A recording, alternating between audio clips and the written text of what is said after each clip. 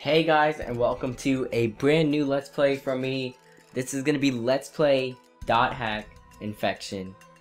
It's kind of weird to say that, but this is Let's Play Dot Hack Infection.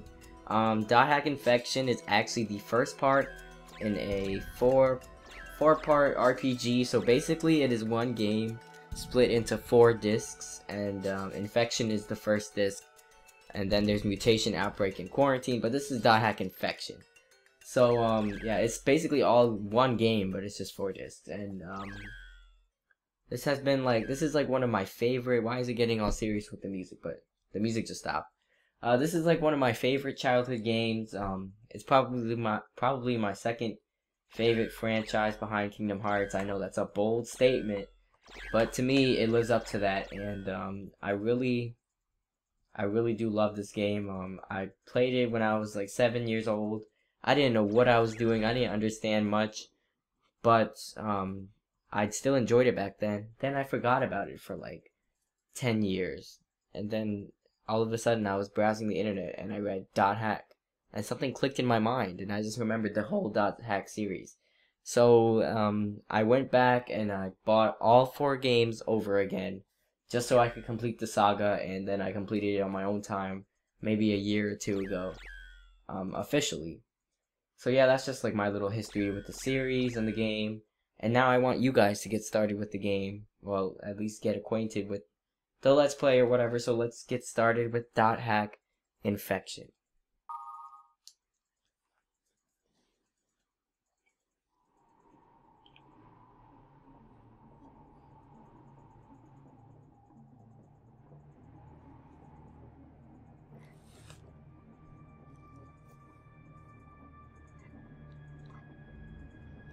Mann des Schattens, auf der Suche nach dem Abedrachen, ist noch nicht zurückgekommen. Der Herd der Finsternis grollt. Helba, Königin der Finsternis, stellt schließlich ein Heer auf. Alparon, König des Lichts, grüßt sie. Und sie treffen sich am Fuße des Regenbogens. Die verfluchte Welle muss gemeinsam bekämpft werden. Der See von Alba brodelt. Der große Baum des Lichts fällt. Alle Macht zerfällt zu Tropfen im Tempel von Arche Köln. Wesen ohne Schatten, ihre Welt zerfällt zu nichts. Der Mann des Schattens auf der Suche nach dem Abenddrachen kehrt niemals mehr zurück.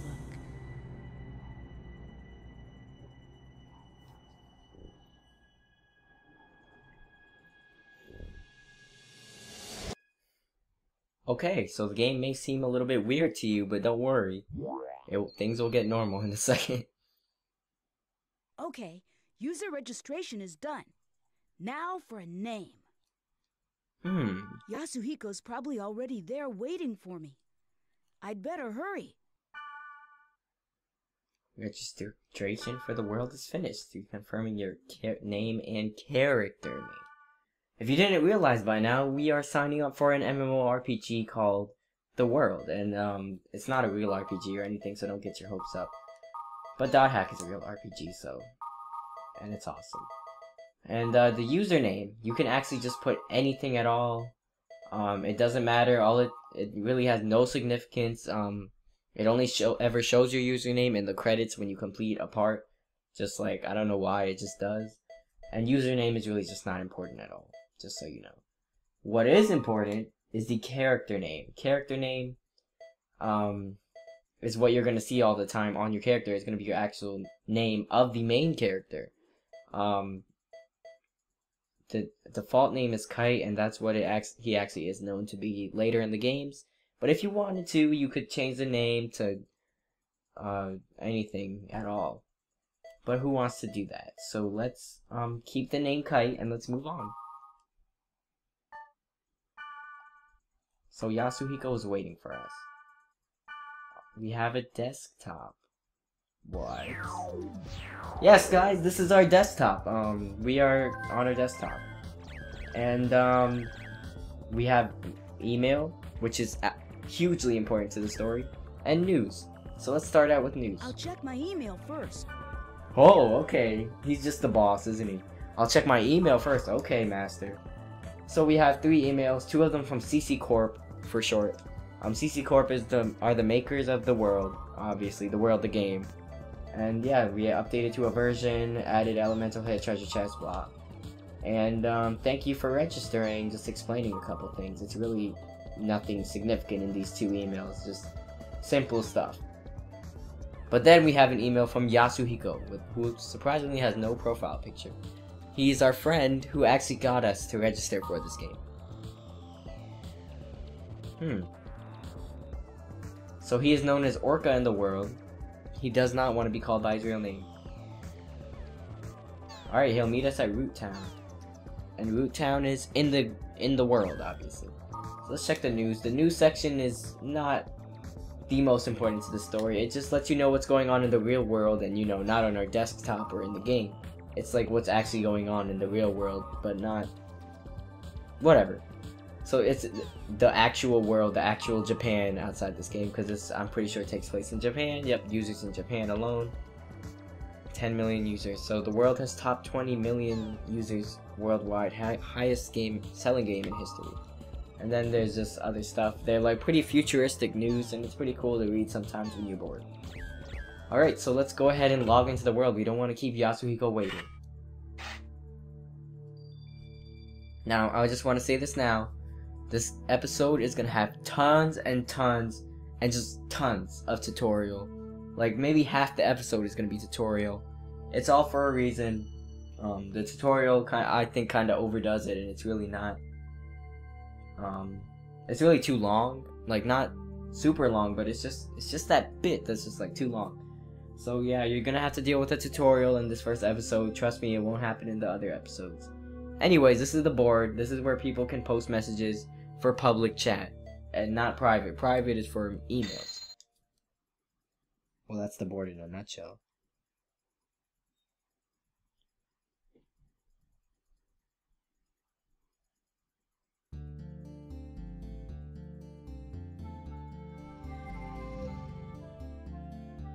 Hey, you made it. Uh, Hey, it's me, Orca, the Blade Master. You look so different from the real Yasuhiko. Nothing like the real you. Hey, in this game, I'm Orca. Regardless of what I am in reality, I'm pretty well known here. What? He's not kidding. He is well known here. No, you look great. Anyway, take this. Member address is the flashmail address you can only access in the world. Now, Orca kind of treats us like a three-year-old in this tutorial. Thinks we've never seen a menu before, but you'll see why in a second. mail, you can exchange messages with others in real time, as long as you are in the world. It's mostly used by newbies to contact other players to form a party. Try it out by inviting me to join your party. First, press the triangle button to open the menu. In the menu, select Party. Next, select Add. Names of players who gave you Yes. their member addresses will be listed here. He walked us through the menu like that. That just Choose happened. a player you want to invite to your party and send a flash mail. Now you may see what I what I mean when I say the tutorial is a little bit overkill. Since you just started, you probably only have my member address. Now, press the X button twice to send a flash mail to me. The twice is just to confirm it. Ah, Got it. Join my party. It's kind of weird mailing each other when we're face to face. See? My name appears under your screen. That means I'm in your party. By the way, flash mail is only available when you're in a town. Oh, and you can't contact people when they're not logged into the world. People do have a life, you know. We're not online 24 7. In other words, you can't always count on the same members to form a party. So, try to get as many member addresses as you can. You'll have more fun that way. Well, how you play is up to you. But since EXP and stuff isn't divided among party members, you really don't benefit if you go solo. You should always bring a party when you're in this game. Okay. Well, why don't we head off? There's nothing to worry about. I found a perfect place for newbies. This is the Chaos Gate, sort of transfer device that takes us from one place to another. Now, press the X button. In the world, each play zone is called an area, determined by a combination of three keywords. Select New Keyword. Of this course. is the keyword screen. You put the three Whoops, selected my keywords bad. one by one for each part A, B, and C. Left of the entry plate is all the keywords you have. You can collect more of them by reading your emails, the board, and from other players. Now, let's enter some keywords by starting with part A. Select bursting from the list. So um, basically, I'll just explain it in a much more understandable way. Um, you combine three words, and it makes an area that you can go to. And areas are the main things you go to to level up, fight, do things, go on missions, whatever you do in the world. You do it in an area. Good. Next for part B, select passed over. For the last one in part C, select Aquafield. Now you're done specifying the area. Oh, one more thing. You see the symbol on the left next to the keyword? That's the server symbol. It indicates which server you are currently logged on to. This symbol is Delta, so we're logged on to the Delta server. The list on the bottom right is the area status list. See the jewel next to the field type and dungeon? That indicates how the selected keyword affects the status. For example, check the field type. See the jewel on the right? This means that the field type is being determined by Aquafield, the keyword in C. We don't know what kind of field the current keyword will create until we get there. But once we learn the effect of that keyword, we can combine it with other keywords effectively. For more details, check out the board on your own time. Alright, I'm just gonna tell you what's important on the screen right now. Um, the jewels and all those colored things really um, are not as important. Um, I really never pay attention to them. What is important is that little box that says battle level and element. Battle level is the level of the area, how strong the enemies will be. It's level 1, we're level 1, so it's kind of perfect for us. And the element is wood. Elementals I'll go into later. All right, let's get going to the Delta Bursting Passed Over Aquafield. Select Police. Warp. Now, you see what I mean when Orca, like, overkills the tutorial. I love you, Orca, but you really baby us during the tutorials, and it's not quite over yet. Just bear with me. Before we get going, let me explain to you about the camera control. During the game, enemies will attack from all directions. The idea is to adjust your view quickly to see your enemy and grasp the situation. I'll explain more later, but remember, you can only use skills on targets you can see. Basically, if you don't use the camera right, you'll be dead before you know it. First, rotate the camera. Push either the L1 button or the R1 button to move the camera. see, he even tells us how to go through the camera. Next, let's zoom in and zoom out. You can zoom the camera in or out by using the right analog stick. Orca, I'm doing it. Try it. Yeah, that's it. Finally, you reset the camera by. There you go. Remember, when the battle starts, constantly adjust your camera. To be honest, I, I think I just said this. You don't, I don't ever zoom in and out, only in rare occasions. Rotating is what's important, really, and it's not that serious where he's like, if you don't use your camera, you're gonna end up dead. It's true to an extent, but I, I don't know, he over exaggerates it just a little bit. Okay. And this is the field. It's the lowest level in the area. When you want to return to the town, press the triangle button and select Gate Out from the menu. Grassland, wilderness, and jungle are some of the field types. You can set them with keyword. The combination of field type and weather determines the area elements. For example, if it's a grassland and it's raining, that area will be a water element stage. The elements also affect the type of monsters that will appear and the items you can get. Don't worry about it now. As you get used to it, combine words to get different elements. Now, let's get going on our quest. First, check the map at top right. You see the red down arrow on it? That's the gate to the dungeon. Dungeons are super important. Um, they're a huge part of the game. In the dungeon's deepest level, there's a God statue that usually holds a rare item. Basically, the goal is to reach this statue. Sometimes. But enemies are often tougher down there, so gain some levels above ground before you head below. Okay, wait a sec.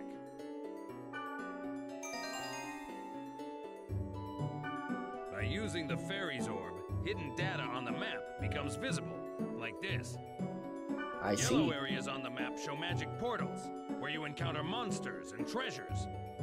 So out of a magic portal, either a monster comes out or a treasure comes out. Never both. Alright. How about we go pick a fight?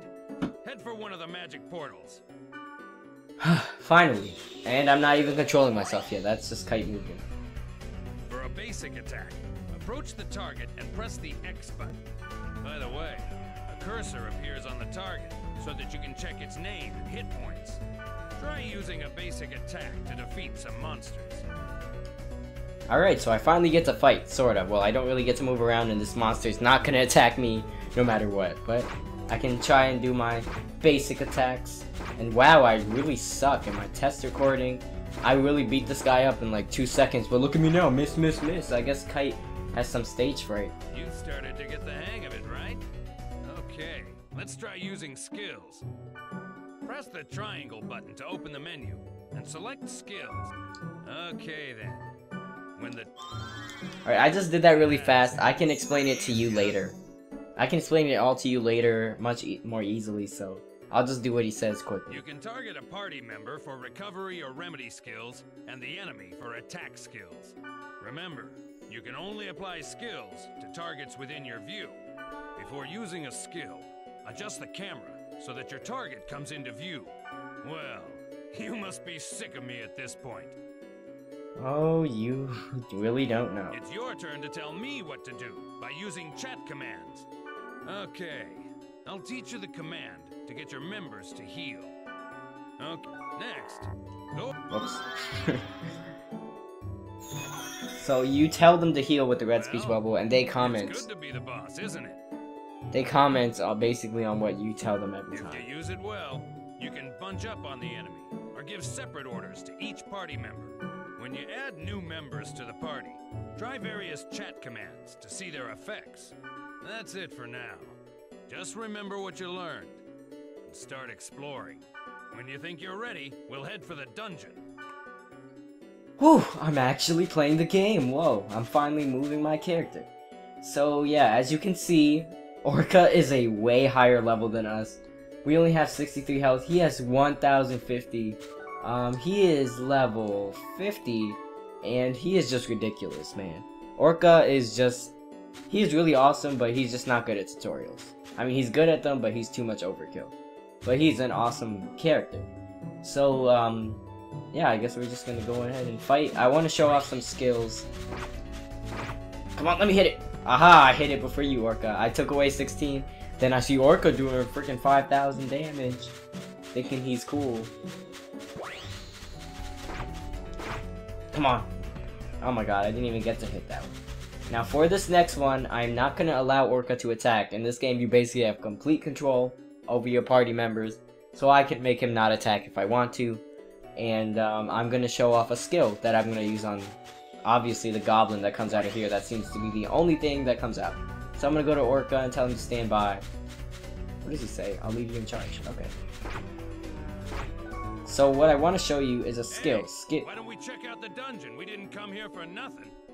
I'm sorry, Orca. I, you see, I accidentally pressed gate out. It was my bad. But skills. Saber dance is the only skill we have. It is close range, and I'm going through this very slowly. But in the gameplay, you'll see me do it a lot faster. And uh, yeah, it's just basically an ability or move, and it's usually very awesome. Every time you change your weapon, you get new skills, or you may lose some of your old skills. Like skills are tied to weapons. So now let's get to the good stuff. The dungeons. Now we can start exploring the dungeon. One thing you need to remember is that you can't gate out when you're in a dungeon. To gate out and return to the town, you have to go back to the field. The sprite Ocarina will warp you to the surface, but you can't use it during battle. This is the treasure box, but you knew that, right? Did you think we knew that? You should know that there are two types of treasure boxes normal and booby-trapped. This one's normal. Hit the X button to open it. This one's booby-trapped. Notice a different color? Try to open it as is, and you're screwed. Just use the fortune wire on it. Oh man, my bad. Um, the fortune wire is an item that actually takes off the trap, and um, yeah, it takes off the trap so it turns it into a normal treasure. See? Now it's safe to open. Press the X button to open it. And fortune wires are dirt cheap, so you buy them from the shop and then you can open any blue chest. Alright, that's besides the point. Let's keep moving.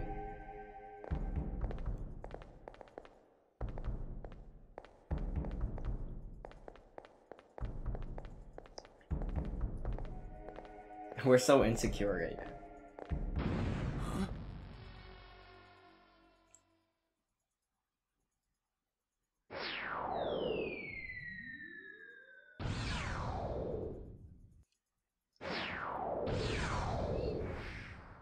What the? Did you just see that? Yeah. Was that thing chasing her? Yeah, but something like that on this level? Hmm, so there's a monster chasing a girl, and um, it has Orca worried, and you can see how strong Orca is. He's way over level for this place, so if Orca's worried, let's just say I'm worried too. okay, I guess we should go that way to see where they went. Yes, Orca agrees with me, so let's go. Um, dungeons, you can obviously have a different map. You can see it's more of a maze type of map. And yeah, she's gone. Gone like the wind. And so is the enemy, thank god. But she's gone, which isn't good. I think. I think. We have no idea what. It looked like she was being chased, so. now, um, the dungeon, the main um, objective is to get to the end, obviously. Well, for today's dungeon.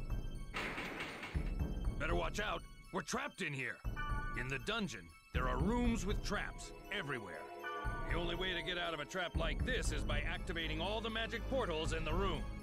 I don't know why Orca says that because the only way to get out of any trap is to activate all the magic portals in the room. And it's really not that serious. You really just can't get out the room. That's it. To that magic portal. Well, it kind of charged to us because it already activated, obviously, by the sound. Take care of handle him for me, Orca. Yep, I just have a friend named Orca who just takes out everyone. Alright, now, now we can keep moving. The portal's gone. We're so weak compared to Orca. It's, I feel bad for us. But not really, because we're a new player, and we have such a nice friend that they'll actually go to the through the time to show us around. Which is really nice. Alright, so now we have a four-way split right here, as you can see on the map. I'm gonna go to the sides first, because that's what I feel is good, I guess. Oh, we got some tougher enemies in here, as you can see, though. But Orca just took them out anyway, but still, they're tougher enemies. Because the more floors you go down, basically, the tougher the enemies. Almost always. Like, that's how it's meant to be. The new floor you go down, um, there's gonna be tougher enemies every time. Orca just told me not to try too hard. So we were lucky this time, and actually a, um, a treasure came out of this. Notice all dungeon portals are open, so there are no more fights in here. And we must be on the last floor of the dungeon, because it's usually not floors of dungeons with no portals at all. So, do we have any fortune wire? Yes, we do. We can actually disarm the trap and get some headgear. Let me check if headgear is good for me, actually. Oh, we can't even use it. There's gonna be armor that's like heavy armor that's like too heavy for us, and then there's gonna be armor that's like basically we're not compatible with every weapon or every armor. We're only compatible with twin blades.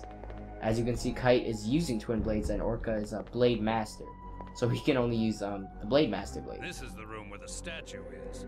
There's only one of them at the dungeon's deepest level, and you can get rare items from it. That's enough adventure for now.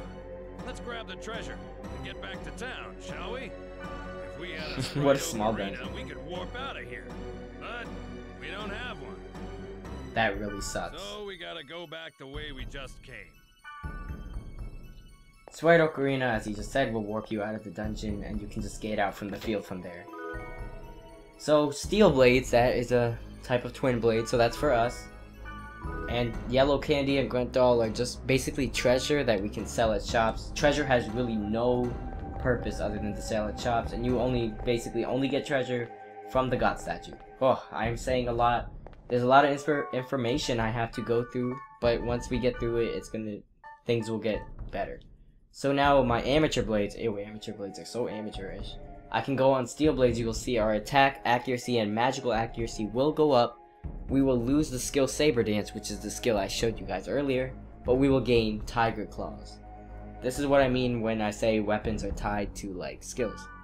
So I'm going to put these on because they are a level 1 weapon. Well, never mind then. They're both level 1 weapons, as you can see on the bottom. Level 1. But this is better because um, it puts my stats up. So it's not much better, but it's better nonetheless.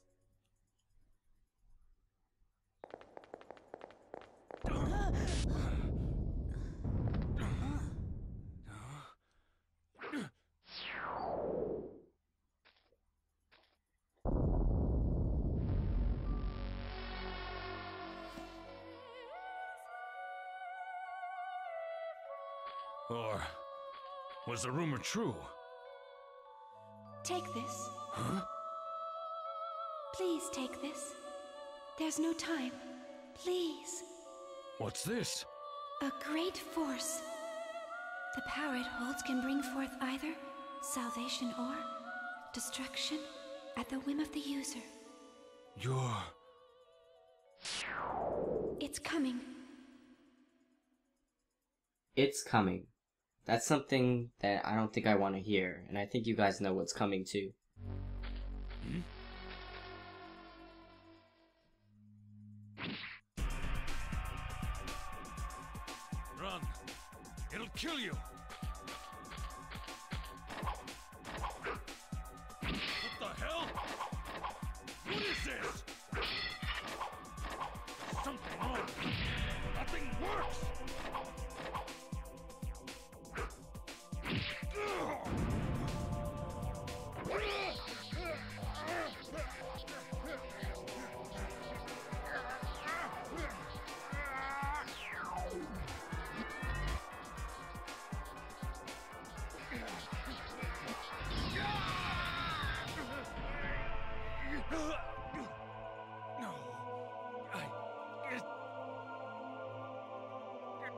Supposed to be this way.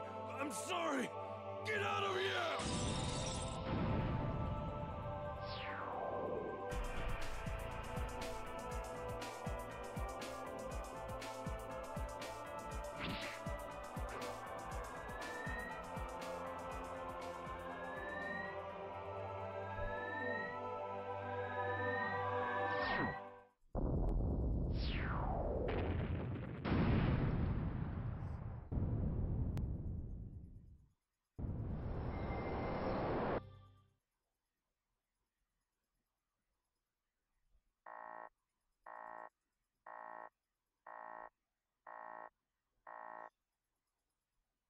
don't worry, guys, it isn't YouTube that's messing up, that's the game.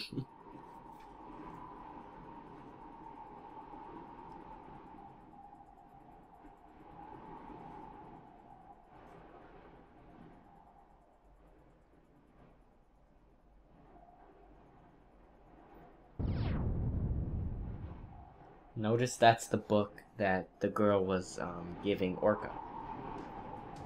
I guess we have it now.